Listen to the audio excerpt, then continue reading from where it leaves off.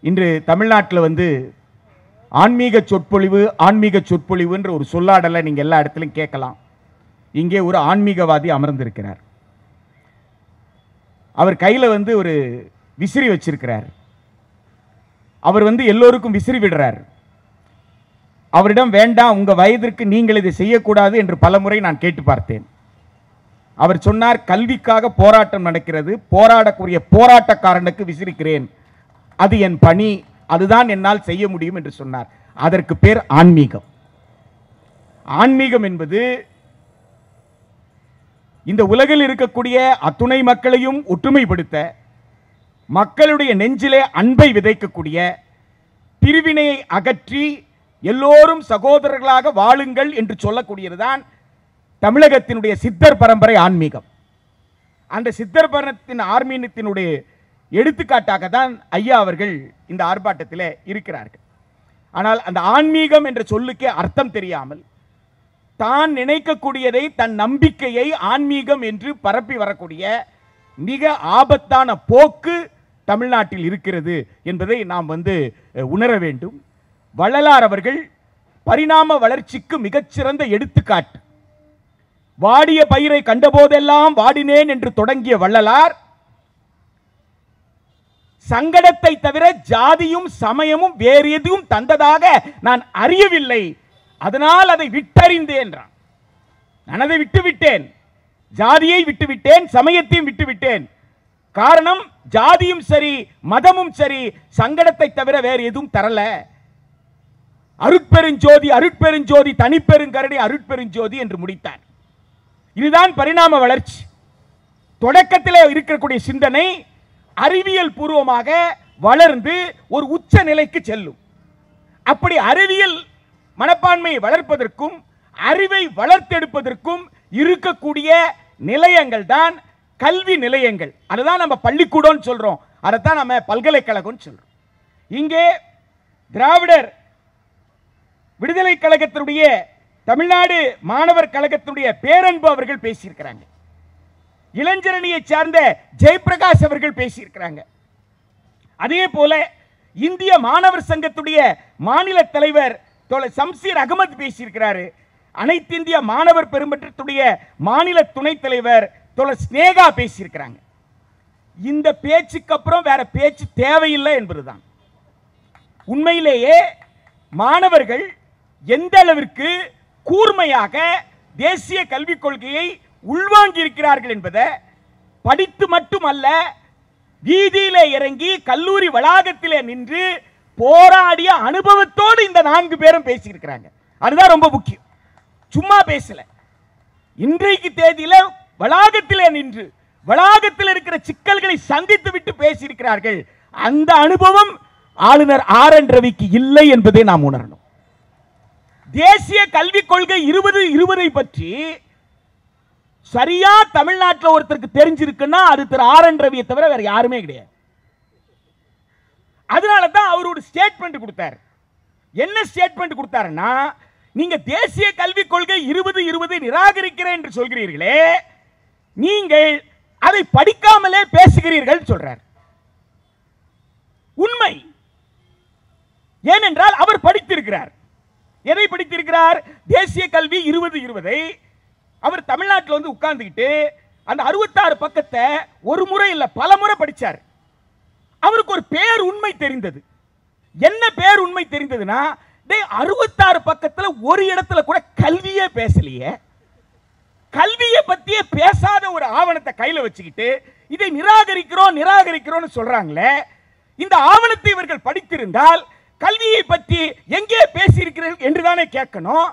இல்லாத ஒன்றை நிராகரிப்பேன் என்று சொல்வது எப்படி நியாயம் என்று நம்முடைய தமிழ்நாட்டினுடைய ஆளுநர் தமிழ்நாட்டு மக்களுடைய கண்களை திறக்க முயற்சி செய்திருக்கிறார். தேசிய கல்விக் கொள்கை அறுபத்தி எட்டு. அதுதான் இந்திய அளவில் வெளியான முதல் கல்விக் கொள்கை. அந்த கல்விக் கொள்கையில நமக்கு விமர்சனம் இருந்தது. நமக்கு விமர்சனம் இருந்தது. தந்தை பெரியார் உயிரோடு இருந்த காலத்தில் வெளிவந்த கல்விக் கொள்கை.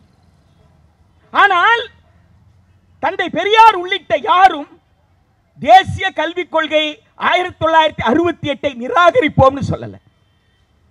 நீங்க வே- வேறுபாடு என்னன்றதை புரிந்து கொள்ளணும். கடுமையான விமர்சனம் வைக்கப்பட்டிருந்தது. எந்தெந்த அம்சங்களை ஏற்க இயலாது என்று சொன்னோம். ஆனால் நிராகரிப்போம்னு சொல்லல.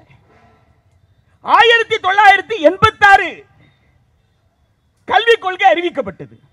ஆயிரத்தி தொள்ளாயிரத்தி எண்பத்தாறு கல்விக் கொள்கையில இந்தியா முழுக்க மாணவர் அமைப்புகள் இங்கே அமர்ந்திருக்கக்கூடிய அனைத்து இந்திய மாணவர் பெருமன்றமாகட்டும் இந்திய மாணவர் சங்கமாகட்டும் உள்ளிட்ட மாணவர் அமைப்புகள் இது ஒகேஷனலைசேஷனையும் கமர்ஷியலைசேஷனையும் ஊக்குவிக்குதுன்னு நிராகரிக்கல.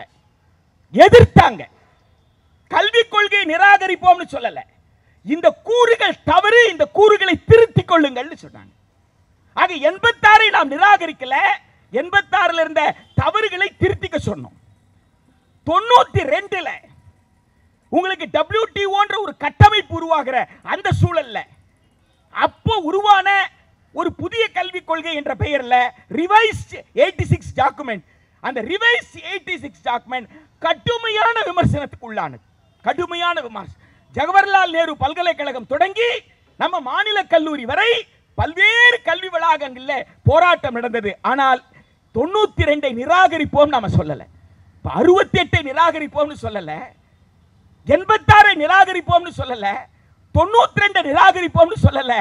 ஆனால் தேசிய கல்விக் கொள்கை இருபது இருபது ஜூலை மாதம் அறிவிக்கப்பட்ட அந்த கல்விக் கொள்கையை தான் இந்தியா முழுக்க ஜம்மு காஷ்மீர்ல தொடங்கி இங்கே கன்னியாகுமரி வரைக்கும் இந்த பக்கம் கட்சி தொடங்கி காமரூபா அசாம் வரைக்கும் அருணாச்சல் பிரதேஷ் வரைக்கும் ஒட்டு இந்தியாவில் இருக்கிற அத்துணை பல்கலைக்கழகங்களும் அத்துணை மாணவர்களும் ஆசிரியர்களும் நிராகரிப்போம் என்று சொல்ல சொன்னாங்க நிராகரிப்போம். தமிழ்நாட்டில் மட்டுமல்ல நிராகரிப்போம். காரணம் இந்த கல்விக் கொள்கை இதுவரை இந்தியாவில் கட்டமைக்கப்பட்ட பள்ளி கல்வி முறையை கல்லூரி கல்வி முறையை சிதைப்பதற்குண்டான ஆவணம். சிதைப்பதற்கு சாதாரண ஆவணம் கிடையாது. அந்த மொழியை பற்றி நாம் வந்து தொலைக்காட்சி வாரத்தை பார்த்து பல பேர் நம்ம ஏமாந்து போயிடுறோம். நான் தனிப்பட்ட முறையில் எல்லாருக்குமே சொல்றது உண்டு. நானே பங்கேற்றா கூட நீங்க விவாத மேடையை பார்க்காதீங்க பைத்தியம் முடிச்சிரோன்னு ஆமா. அந்த விவாத மேடையில் என்ன நடக்குன்னு யாருக்குமே தெரியாது. எதுக்கு விவாதிக்கிறான்னு ஒண்ணுமே தெரியாது. தேசிய கல்விக் கொள்கையில இருமொழி கொள்கையா மும்மொழி கொள்கையான்னு விவாதிக்கிறாங்கல்ல. நீங்க அந்த ஆவணத்தை எடுத்து பாருங்க. அந்த ஆவணத்துல மொழி சம்பந்தமா எங்கேயாவது பேசியிருக்காங்களான்னு. மொழி சமணமா பேசவே இல்லை. அந்த ஆவணம் எதை பற்றி பேசுகிறது? அந்த ஆவணம்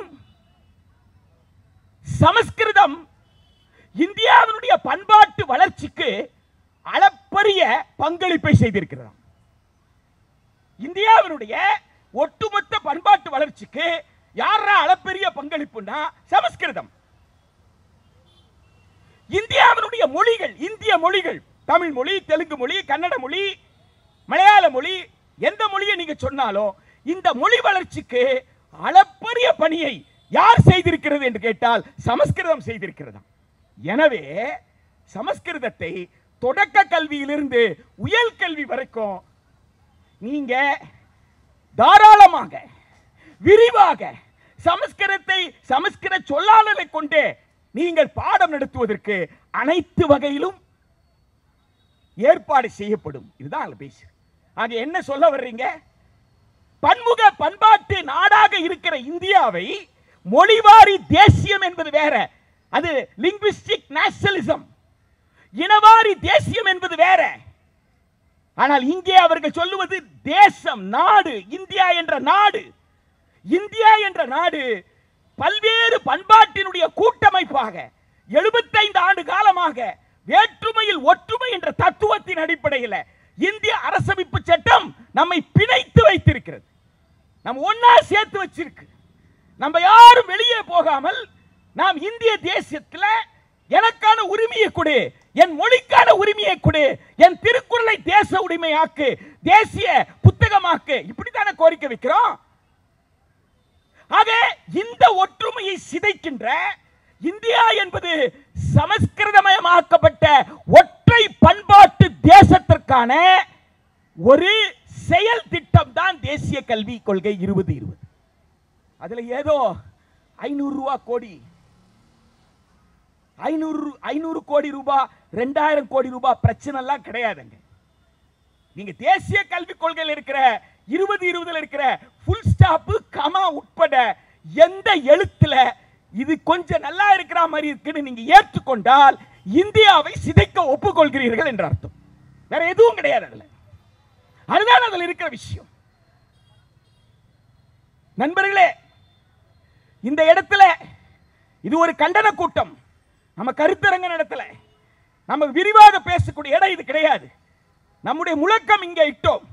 அந்த முழக்கத்திலே இருந்து இன்றைக்கு தமிழ்நாடு சந்திக்கிற உடனடி பிரச்சனையாக நாம பார்க்கிறது என்னன்னு கேட்டா இந்த சமகர சிக்ஷா.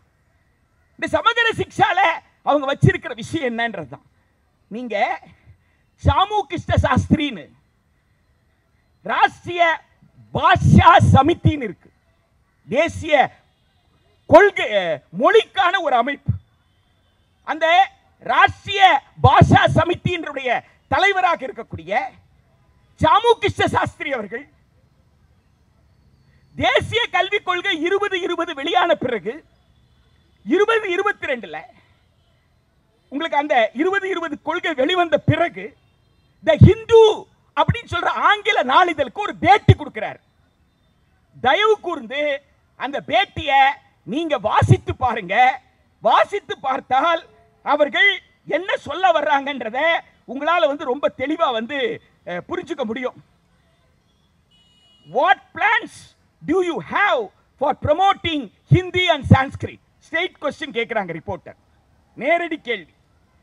அவர் சொல்றாரு where there is English medium நம்ம மாணவ சங்க தோழர்கள் இங்க ஒரு மிக முக்கியமான கோரிக்கையை இந்த மேடையில் ஒரு முக்கியமான செய்தியை சொன்னார்கள். அதனால தான் சொன்னேன் அந்த நான்கு பேர் பேசுறதுக்கு அப்புறம் மற்றவர்கள் பேசுவதற்கு எதுவுமே இல்லை. களத்திலிருந்து பேசுறாங்க நான் சொன்னனே. அவர்கள் கூர்மையான ஒரு விஷயத்தை தொட்டாங்க. ஜெய்சங்கர் பேசுறதை பத்தி சொன்னாங்க. அவங்க கூர்மையான ஒரு விஷயத்தை சொன்னாங்க. இன்னைக்கு இருக்கக்கூடிய அரசனுடைய கொள்கை போக்கு எப்படியாக இருக்கும்? வெறும் கட்சி அரசியல் மாறினா போருமா? கொள்கை அரசு மாறாமல் இந்த அரசியல நாம நினைக்கிற கோரிக்கைகள் நிறைவேறுமா என்ற மிக முக்கியமான கேள்விகளை இங்கே எழுப்புனாங்க. அதற்கான விடை இங்கே இருக்கு பாருங்க. Where there is English medium it should be replaced with Hindi Dharmendra Pradhan என்ன கேட்டார்? முதலமைச்சருக்கு? அஞ்சு கேட்டாராமே. உனக்கு தமிழ் பிடிக்கலையான்னு கேட்டார்ல மிஸ்டர் தர்மேந்திர பிரதான் இதுக்கு என்ன பதில் வச்சிருக்கீங்க இல்லையா? அப்ப சிபிஎஸ்சி இந்த இந்த ரோட்ல இப்படி நடந்து போனீங்கன்னா அங்க ஒரு பள்ளிக்கூடம் இருக்கு. அந்த பள்ளிக்கூடம் இங்கிலீஷ் மீடியம் ஸ்கூலு. அது வந்து மத்திய பாடத்திட்டத்தின் கீழ் இயங்குற பள்ளிக்கூடம்.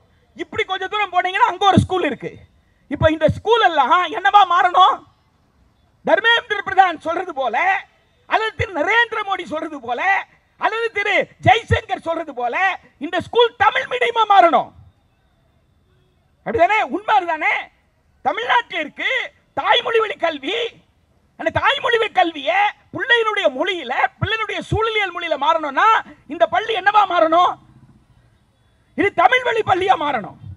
அதுதானே தேசியம். ஆனா நீ என்ன சொல்ற? இங்கிலீஷ் மீடியம் ஸ்கூல் இருந்தா அந்த இங்கிலீஷ் மீடியம் ஸ்கூல் என்னவா மாறணும்? ஹிந்தி மீடியம் ஸ்கூலா மாறணும். அதுக்கு முந்தி கேள்விக்கு பதில் சொல்லும் போது அவர் சொல்றாரு தமிழுக்கு டயலெக்டிக்ஸ் வேற வேற இருக்கும். டயலெக்ட்ஸ் இருக்குல்ல? கொங்கு நாட்டுக்காரங்க ஒரு மாதிரி பேசுறாங்க நெல்லை மாவட்டத்துக்காரங்க ஒரு மாதிரி பேசுறாங்க நம்ம வடார்காடு மாவட்டத்தை சார்ந்தவங்க ஒரு மாதிரி பேசுறாங்க மெட்ராஸ்காரங்க ஒரு மாதிரி பேசுறாங்க. எனவே ஒரு தமிழ் கிடையாது. இங்க பல தமிழ் இருக்கு உங்களுக்கு தெரியுமான்னு திருப்பி கேட்கிறாரு அவர். எனவே தமிழ்னா எந்த தமிழை நீ பயன்படுத்த போற? மொழியில எப்படி பிரச்சனையை கொண்டு வரார் பாருங்க. இதெல்லாம் இதுக்கு முந்தி கேள்விக்கு அவர் பதில் சொல்லும்போது சொல்லிட்டு அடுத்த கேள்விக்கு நேரடியான பதில் என்னன்னா இங்கிலீஷ் மீடியம் ஸ்கூலெல்லாம் என்ன ஆகும்? ஹிந்தியா மாறும். இப்போ தமிழ்நாடு அரசு சமகர சிக்ஷா நிதி வாங்குறதுல தேசிய கல்விக் கொள்கையினுடைய கூறுகளுக்கு ஒப்பமாட்டோம்னு சொல்கிறாங்கல்ல சொல்றாங்கல்ல. அதற்கு காரணம் என்ன? இருபது இருபத்தி ஒன்று ஆகஸ்ட் பதினாறு தமிழ்நாடு அரசுக்கு எழுதப்பட்ட கடிதம். தமிழ்நாடு அரசுக்கு ஒன்றிய அரசு எழுதின கடிதம். அது தமிழ்நாடு அரசுக்கு மட்டுமல்ல இந்தியாவில் இருக்கிற எல்லா மாநிலத்துக்கும் போகுது. அந்த கடிதத்தில் அவங்க என்ன சொல்றாங்க? இருபத்தி ஒன்பதாவது கூறு படிங்க அதில். இருபத்தி ஒன்பதாவது கூறு. அந்த இருபத்தி ஒன்பதாவது கூறு சொல்லுது non Hindi speaking ஸ்டேட்ஸில் north east and non Hindi speaking state வடகிழக்கு மாநிலங்கள் மற்றும் இந்தி பேசாத மாநிலங்களில் ஹிந்தி ஆசிரியர் நியமிப்பதற்கான தொகை. யார் நியமிக்க? ஹிந்தி ஆசிரியர் நியமிக்கிறதுக்கு. சென்னையில் தமிழ்நாட்டில் குஜராத்திக்காரன் இருக்கிறான். தமிழ்நாடு அரசு பள்ளிகளில் குஜராத்தி மொழி இருக்கு. இங்க கொஞ்ச தூரம் அபிபுல்லா ரோடுக்கு போனீங்கன்னா தமிழ்நாடு அரசு பாடத்திட்டத்தில் கன்னட மொழி படிக்கிறதுக்கான பள்ளிக்கூடம் இருக்குங்க கன்னட மொழி படிக்கிறதுக்கு. இப்படி கொஞ்ச தூரம் போனீங்கன்னா தேனாம்பேட்டை சிக்னல் கிட்ட தெலுங்கு மொழி படிக்கிறதுக்கான பள்ளி இருக்குது இதெல்லாம் தமிழ்நாடு பாடத்திட்டத்துக்குள்ள தமிழ்நாடு அரசு அங்கீகாரம் பெற்ற அரசு உதவி பெறும் பள்ளி. நான் சொல்றேன் தமிழ்நாடு அரசு உதவி பெறும் பள்ளி. இதுக்கு பேரு இந்திய ஒற்றுமையா? அல்லது ஒற்றை மொழியாக இந்தியை கற்பதற்கு மட்டுமே நாடாளுமன்றம் நிதியை ஒதுக்கினால் அதற்கு பேரு இந்திய ஒருமைப்பாடா? திரு நரேந்திர மோடி அவர்களே பதில் சொல்லுங்க. திரு ஆர் என் ரவி அவர்களே பதில் சொல்லுங்க. ரெண்டாவது கூறு என்ன தெரியுங்களா? ஆறாம் கிளாஸ்லேருந்து எட்டாம் கிளாஸ் வரைக்கும். அவர் வந்து விசிறிக்கிட்டு இருக்கிறாருன்னா சும்மா இல்லை. ஒரு பெரும் பதட்டத்தோடு தான் உட்கார்ந்து இருக்கிறாரு என்ன பதட்டம்? ஆறாம் கிளாஸ்லேருந்து எட்டாம் கிளாஸுக்குள்ள ஒரு குழந்தைக்கு முழுமையான வேலை திறன் பெறணுமா? ஒரு எட்டாம் கிளாஸுக்குள்ள ஒரு குழந்தைக்கு வேலை திறனை கொடுத்துட்டு ஒகேஷனல் ஸ்கில்லிங் சர்டிஃபிகேட் கொடுத்துட்டா ஒன்பதாம் கிளாஸுக்கு அப்புறம் பாடத்தில் அந்த குழந்தைக்கு ஆர்வம் இருக்குமா? நாம் என்ன சொல்லுவோம்? குழந்தைகளை புத்தக காட்சி கூட்டு போங்க. குழந்தைகளை நூலகம் கூட்டு போங்க. குழந்தைகளை கோளரகம் கூட்டு போங்க. தந்தை பெரியார் கோளரகம் இருக்கு கோட்டூர்புரத்தில் கூட்டு போங்க. எதிராக அண்ணா நூற்றாண்டு நூலகம் இருக்கு. கூட்டு போங்க. எழும்பூர்ல மியூசியம் இருக்கு அருங்காட்சியகம் இருக்கு. எறும்பூர்ல கன்னிமேரா லைப்ரரி இருக்கு. குழந்தைய கூட்டு போங்கன்னு சொல்லுவோம். உலகம் முழுக்க சுத்திட்டு வந்த திரு நரேந்திர மோடி சொல்றாரு பத்து வேலை நாட்கள் ஆறாம் கிளாஸ்ல இருந்து எட்டாம் கிளாஸுக்குள்ள பத்து வேலை நாட்கள். அந்த கல்வி ஆண்டுல அந்த குழந்தை பேக்லெஸ் தேவாம் பையில்லாத நாளாம். பையில்லாத நாள் என்றால் என்ன தெரியுமா? அந்த குழந்தை எந்த வேலையை கற்றுக்கொள்ளணுமோ? ஒகேஷனல் ஸ்கில்லிங் நம்ம ஆங்கிலத்தில் எழுதி வச்சிருந்தா நாம தமிழ்ல தொழில் கல்வின்னு மொழிபெயர்க்கிறோம். அது தவறு. ப்ரொஃபஷனல் எஜுகேஷன்னா தொழில் கல்வி. டெக்னிக்கல் எஜுகேஷன்னா தொழில்நுட்ப கல்வி. ஆனா ஒகேஷனல் ஸ்கில்லிங்னா வேலை திறன். ஸ்கில்லுன்னா திறன். ஒகேஷன்னா வேலை. வேலை திறன். பத்து நாட்கள் அவர் மர வேலை கத்துக்கணும்னு நினைச்சா மர வேலை செய்யறால கார்பெண்டர் அவருடைய ஒர்க் ஷாப்புக்கு போகணுமா? ஒர்க் ஷாப்ல போய் மர வேலை கத்துக்கணுமா? செருப்பு தைக்கிறாருன்னு சொன்னா அதை செருப்பு தைக்கிறாருன்னு நீங்க கொச்செல்லாம் படுத்தக்கூடாது. Slipper skill learning vocational skilling how to stitch slipper ஆங்கிலத்தில் சொல்லுங்க. சமஸ்கிருதத்தில் சொல்லுங்க. ஹிந்தியில் சொல்லுங்க. தமிழ்ல போய் செருப்பு தைக்கிறதுன்னு கொச்சப்படுத்தாதீங்க. அப்படின்னு திரு நரேந்திர மோடி சொல்றாரு. சரியா? ஏன்னா செருப்பு தைக்கிற தமிழ்ல சொன்னா புரிஞ்சிடும்ல ஏயா ஃபன் லேர்னிங் எவனுக்குடா ஃபன் லேர்னிங் ஏசி ரூம்லயே உட்காந்துக்கிட்டு தார் சாலைக்கும் கான்கிரீட் சாலைக்கும் மண்ணு சாலைக்கும் வித்தியாசம் தெரியாதவனுக்கு கலனியை கொண்டு போய் காட்டு. காட்டை காட்டி காட்டுல இப்படித்தான் என்ன செய்வாங்க? நிலத்தை உழுவாங்கன்னு சொல்லி கொடு அதுக்கு பேர் ஃபன் லேர்னிங் அவன் கொஞ்ச நேரம் சேத்துல விளையாடுவான். ஏன்னா அவன் சேத்தையா பார்த்ததில்ல. அவனுக்கு அது ஃபன் லேர்னிங் சேத்துலயே பிறந்து சேத்திலேயே வளர்ந்து சேத்தையே சாப்பிட்டு வாழ்ந்துகிட்டு இருக்க என் குழந்தை அவனும் சேத்துல வாழணும்னு சொல்றியே உன்னை ஏற்றுக்கொள்ள முடியுமா தமிழ்நாடு ஏற்குமா இந்தியா ஏற்குமா கொஞ்சம் யோசித்து பாருங்கள் எனவே சமகர சிக்ஷா நிதியை நிறுத்தி அவர்கள் மிரட்டவில்லை குலக்கல்வியை தந்தை பெரியார் பெயரிட்டாரே அதுக்கு கர்ம வீரர் காமராஜரா சொன்னார் குலக்கல்வின்னு சொல்லவே இல்லையே அந்த மகான் நம்ம தேசிய கல்விக் கொள்கை இருபதில் இருக்கிற அதே தான் நம்முடைய மூதறிஞர் பயன்படுத்தினார். என்ன சொன்னார்? Let the children go and learn some ட்ரேடுன்னார் குழந்தைங்க போய் ஏதாவது ஒரு வேலையை கற்றுக்கிட்டோம் அப்படின்னார். தந்தை பெரியார் தான் சொன்னார். ஏ கிராமப்புறத்தில் வேலைன்னா என்ன வேலைடா? இஸ்ரோ வேலையா? கிராமப்புறத்தில் வேலைன்னா ஓசினாகிராஃபி வேலையா? கிராமப்புறத்தில் வேணா இப்போ சுனிதா வில்லியம்ஸ் போயிருக்காங்கல்ல? அவங்க எப்போ திரும்பி வருவாங்கன்னு உலகமே காத்துக்கிட்டு இருக்குல்ல? அது போல வான ஆராய்ச்சியா கிரகங்கள் ஆராய்ச்சியா கிராமப்புறத்துல என் புள்ள என்னடா போய் படிக்கும்? நீ சொல்றது குலக்கல்வி என்று அடையாளப்படுத்தியவர் தந்தை பெரியார்.